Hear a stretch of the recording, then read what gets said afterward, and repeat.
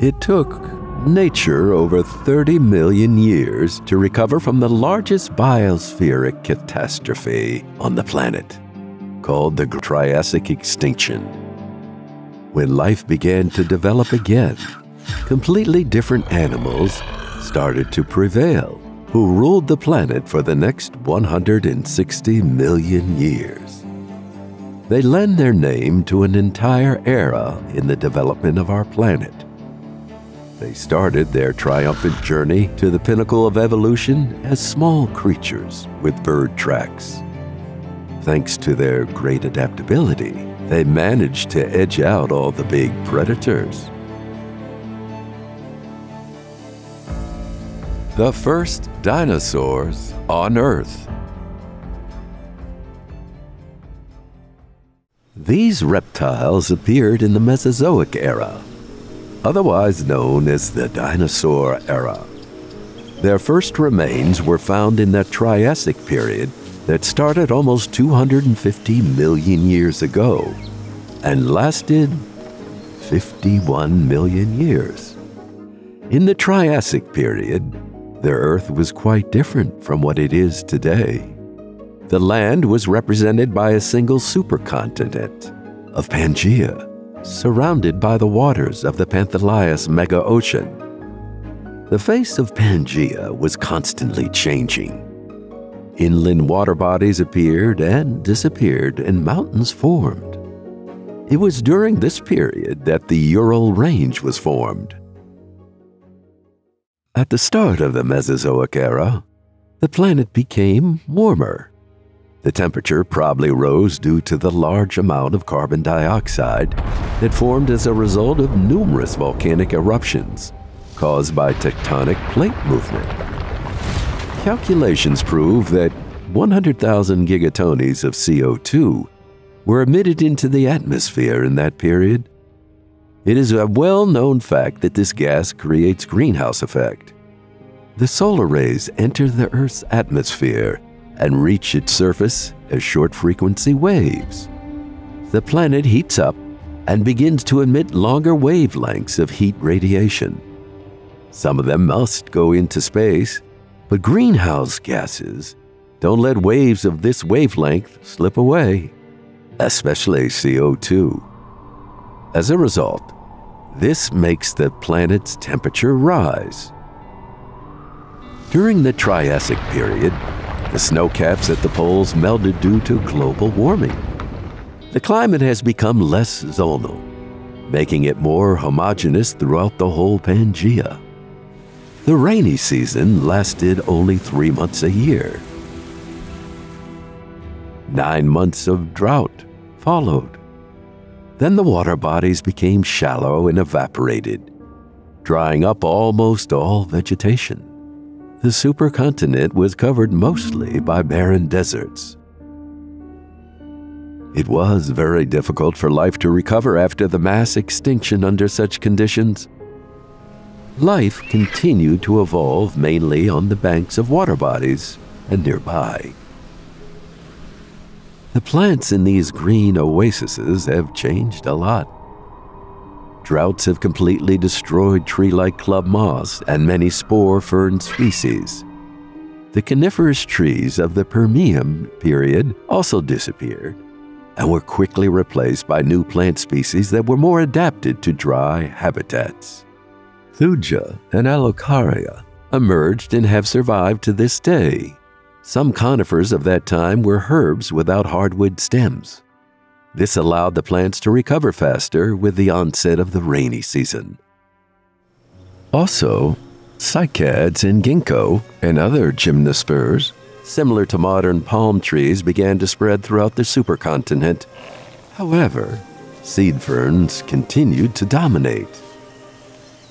Many insects flew and crawled among these plants. Crickets, beetles, Exotic cockroaches with large furry paws prefer to suck plant sap or feed on pollen. But predatory insect larvae often devour their own kind. For example, gluttonous baby snout beetles waited for prey in cycad cones. Dragonflies were flying over water bodies, catching insects, and 40 centimeter mesotitanids with serrated sickle shaped paws have gone as far as hunting small amphibians. Sharks and bony fish were fighting for prey in the open sea. Over time, they developed jaws that could easily crush crab shells and seashells. But ray fin fish wasn't lacking behind. Like the modern pike, these predators were over one meter long. The newly emerged aquatic reptiles called Nothosaurus were the largest hunters of the Triassic seas. Similar to giant dinosaurs, Nothosaurus fished with their sharp teeth. They swam very fast and could catch up with any prey. The number of amphibians that once dominated other animals on land continued to decline, even though some species were still quite numerous. Labyrinthodonts lived in swamps, lakes, and rivers across all continents. They resembled both frogs and crocodiles and had horizontal hips and shoulders. Their length ranged from half a meter to five meters. Labyrinthodonts were carnivores who preyed on their relatives and small fish using ambush techniques. These green gray animals blended perfectly with the environment, waiting for hours with their mouths open. Their jaws would slam shut whenever someone came close enough for them to reach, and crushed the prey with their formidable teeth. Labyrinthodonts defended themselves from enemies with the firm, shelled bone plates covering their entire bodies. As in the Permian period, numerous reptiles dominated the planet. However, they changed a lot during the Triassic period. The most advanced forms of reptiles weren't affected by the Great Extinction. The distant ancestors of mammals called cynodonts were among these animals. These small creatures weren't bigger than a weasel or, more rarely, a large dog. They literally had to survive under the feet of large predators. But cynodonts knew how to dig deep burrows and often lived in pairs, caring for their young. It is hypothesized that some of them have already fed milk to their offspring. Some of these animals might have been marsupials and carried their young on them. Moreover, furry, warm blooded cynodonts didn't have to warm up in the morning. They could easily hunt at night when large predators were asleep.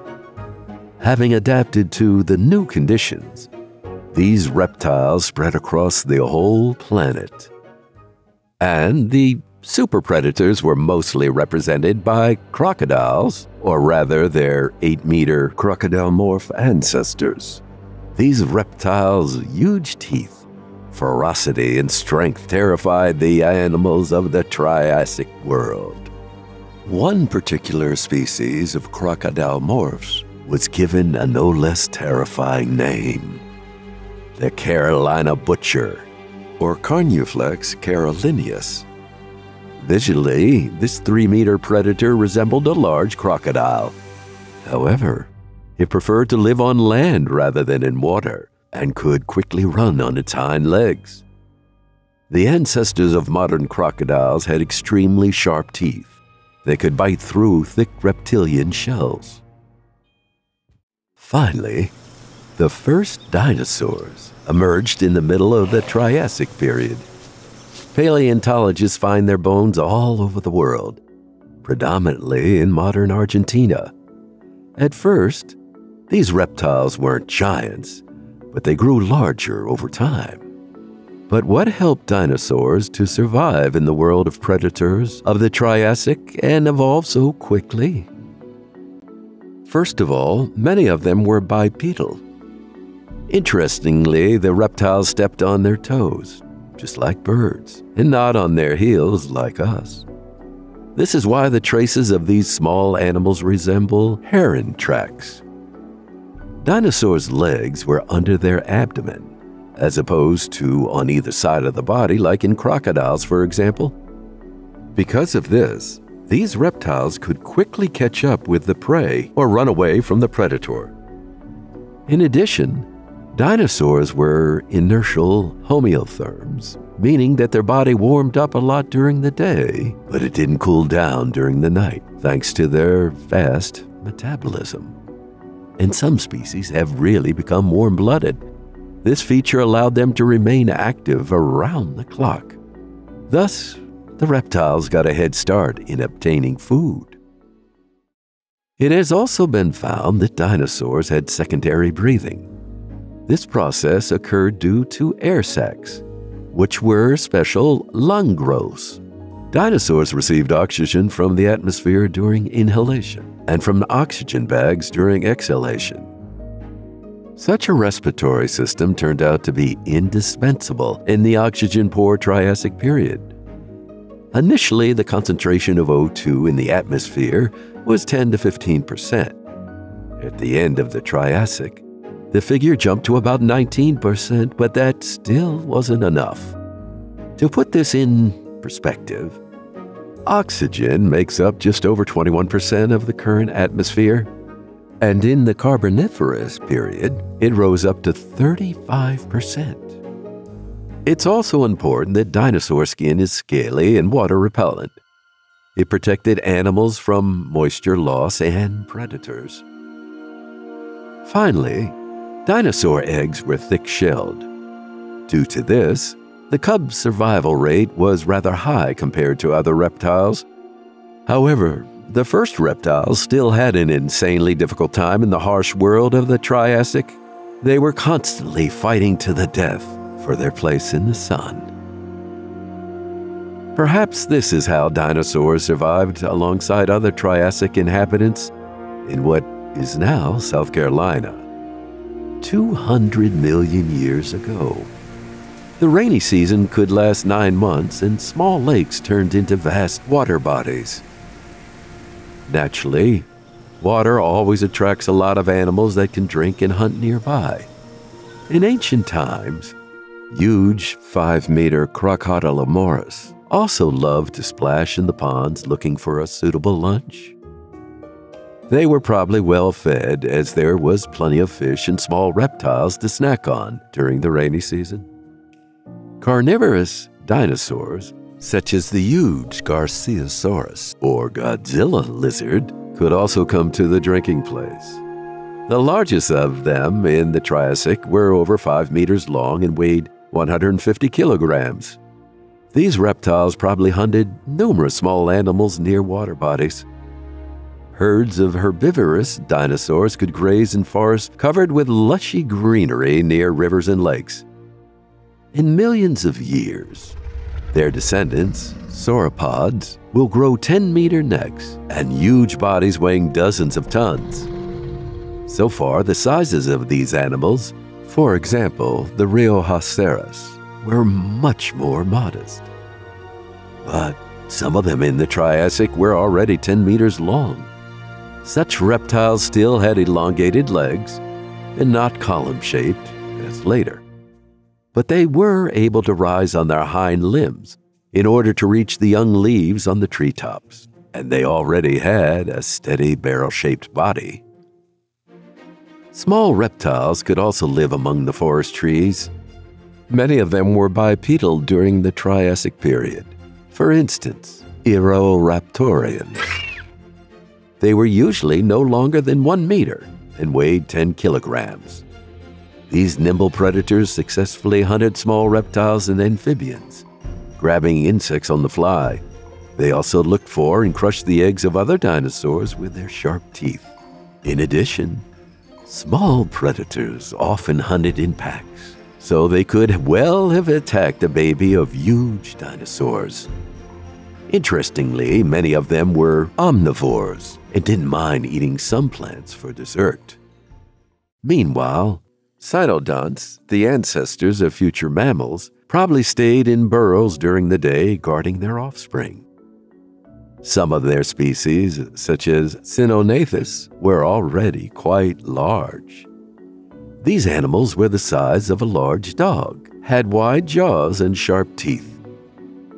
They could clearly stand for themselves However, they probably preferred to go hunting only after dark to avoid huge predators. Cynognathus were warm blooded, so the night cold wasn't much of a problem. In a nutshell, all the animals were well fed and satisfied during the rainy season.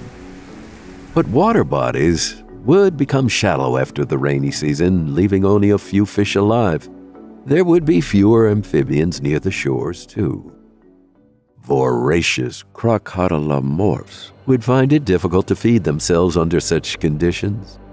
However, predators could always count on some careless young reptile to stray from a flock of small dinosaurs at the drinking place. A strong, big mouthed crocodylomorph, armed with sharp teeth, had every chance of getting it for dinner. Large dinosaurs, such as Godzilla, may also have considered smaller dinosaurs as prey. It can be assumed that small dinosaurs, like the Eoraptors, didn't starve themselves. After all, a lot of amphibians and insects could be found near the water bodies.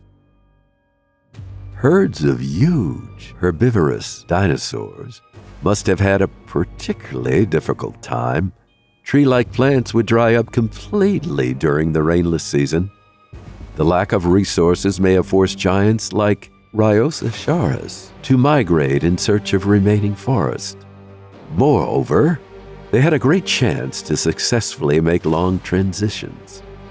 Spikes and plates on animal skin protected their body from moisture loss. Perhaps, when the drought became completely unbearable, large predators began to hunt each other. If a crocodylomorph and a large predatory dinosaur had a fight, the latter would surely win. According to paleontologists, ancient reptiles were more mobile than crocodylomorphs. In addition, they often ate carrion in the forest. Smaller predators would probably get some leftovers after the bloody feast of these at the top of the food chain. With the onset of the rainy season, the animals that survived the drought, predominantly dinosaurs, returned to normal life near lakes and rivers. They went about their business, foraging and laying eggs. This is how the dinosaurs became stronger on the planet. But it was most likely another global catastrophe that made them thrive. The Triassic Jurassic extinction occurred 169 million years ago. Scientists don't have a single hypothesis on what caused it. Perhaps volcanoes contributed to dinosaurs thriving. The breakup of the Pangaea supercontinent led to intense volcanic eruptions. Numerous eruptions have caused huge amounts of carbon dioxide to be dumped into the atmosphere. It created a greenhouse effect and a dramatic climate change. And such changes are usually followed by ecosystem collapse. However, the cause of extinction may not have been connected to a global catastrophe. Some scientists believe it could be caused by cooling on the planet in the late Triassic. Polar and high mountain ice caps appeared that cooled the Earth even more. This led to the Ice Age and significant freezing of the ocean. Such a sharp change in climate caused another global extinction.